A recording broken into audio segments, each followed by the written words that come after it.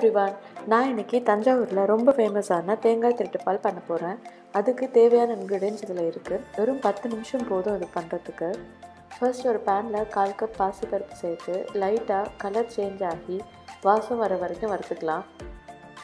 இப்போ இது ரெடி ஆகிடுச்சு இதை தனியாக எடுத்து வச்சிடலாம். இது கொஞ்சம் நேரம் ஆறட்டும்.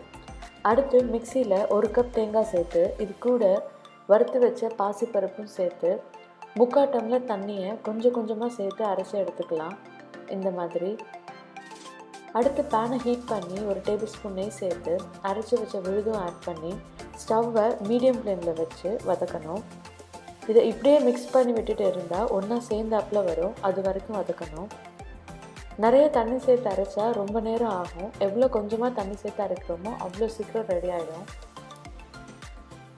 இப்போ இது ரெடி ஆகிடுச்சு நல்லா பேனில் ஒட்டாமல் வருது. இது கூட வெள்ளம் சேர்த்துக்கலாம்.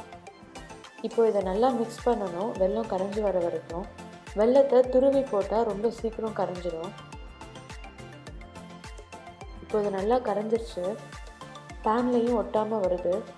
அடுத்து நெய்யில் வறுத்து வச்ச முந்திரியை சேர்த்து கலக்கி விட்டுடலாம் இது கூட ஏலக்காய் பொடியும் சேர்த்துக்கலாம்.